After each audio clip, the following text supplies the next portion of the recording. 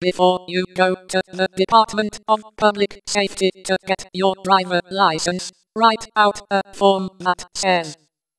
I verify that I am an authorized employee preparing driver license for the state of Oklahoma and facial and iris and fingerprint scan and this and all other procedures the state of Oklahoma requires to attain a driver license is not the mark of the beast as described in the Geneva Bible used by the pilgrims that traveled from Europe on the Mayflower ship reaching what is now the United States of America in one 1620 and signing a compact saying they came here for the advancement of the Christian faith, and the majority of the American people excluding Indians at the time the Constitution of the United States of America was being written proclaimed to be Christians and fought wars to have a separate government from the rest of the world. Never is it submitting to anything that violates the current United States of America Constitution First Amendment that in no way is submitting to any deity religion which violates the Christian faith of the Geneva Bible that no way is this selling my soul to anything.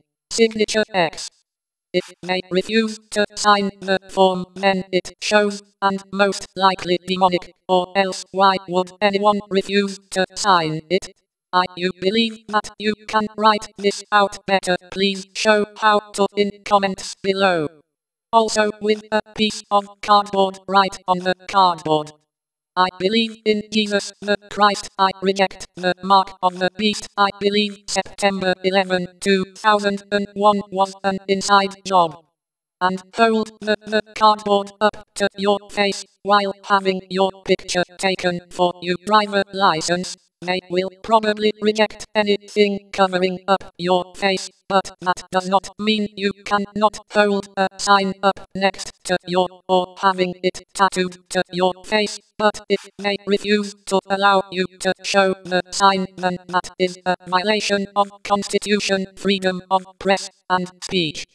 I did a little bit of research what Bible the pilgrims used which is the Geneva Bible, which by what little I read teaches the same thing as the King James, needs a better name version of the Holy Bible and I also did some research to find out if the framers of the Constitution were Christians, but I would not matter if they were Christians or not because the majority of the people excluding Indians were Christian at the time the Constitution of the United States of America was being written, and if they were denouncing the very reason the pilgrims came to America as it say in the Mayflower Compact, for the advancement of the Christian faith, then, then they would be going against the will of the majority of people at that time, which would make them a bunch of criminals just like a street gang. Do not listen to these atheists, they tell lies. Do a little research shows they are lying. Then the argument goes around and around in circles with stuff they cannot prove.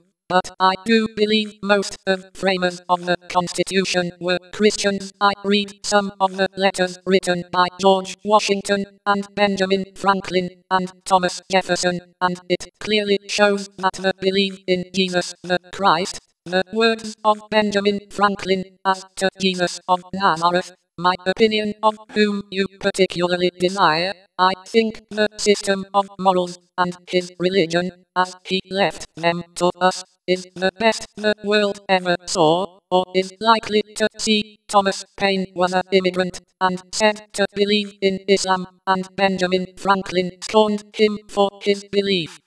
The framers of the Constitution were for the most part neutral concerning religion, because even back then there were churches that could not read 5th grade to know what the Holy Bible teaches, they were called Quakers and Shakers because that is what they did, and they did not want one of these weird religions taking over, but they certainly were not trying to keep the guidance of God and Christian morals out of government. Benjamin Franklin was against any type of one-person ruler as emperors, kings, called presidents, and governors and the problem in America is politicians should be paid the minimum wage and there needs to be more representatives and it should be we the people that vote on all the major issues and not liars that lied their way into public office that do all the voting for us. And as it is written, let the prophets teach two or three or more, and let the prophets judge the prophets, and let the people judge the prophets.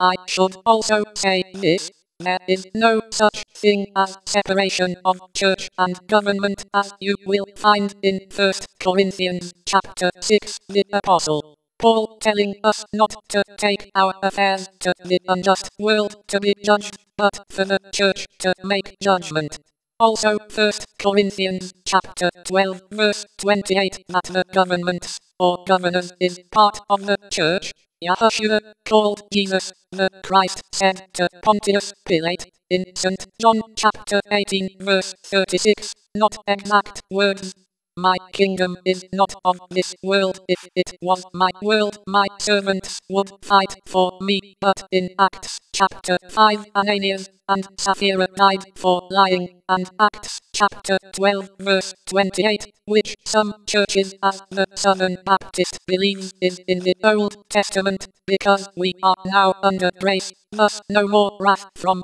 God, but apparently that is only true if you believe in the absolute righteousness of Yahushua, called Jesus, the Christ, because as King Herod found out not to blaspheme the Christ, or try to murder the apostles, or be turned into worm food because Yahushua called Jesus the Christ who never committed a sin but was unjustly executed by the Roman government because cause and effects of Satan the devil and his children therefore restitution is owed and Yahushua called Jesus the Christ now has the legal right revoke all authority from Satan the devil and his children.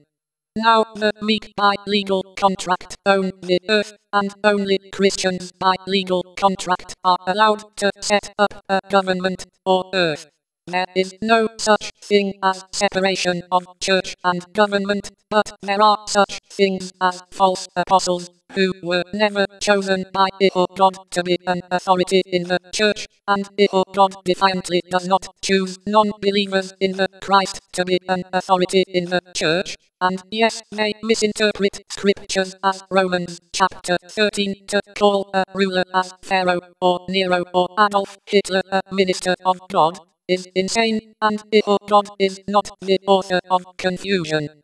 How are we Christians to treat atheists and people of Islam and other religions? We are to make peace with them when possible, and in the epistle of John says do not to receive non-Christians in your house, never bid them Godspeed, for if you bid them Godspeed, then you are a partaker of their evil deeds. But as the story of the Good Samaritan, we are not to let them suffer, but we defiantly are not put them in position of high authority. It's the same as giving the enemy bullets.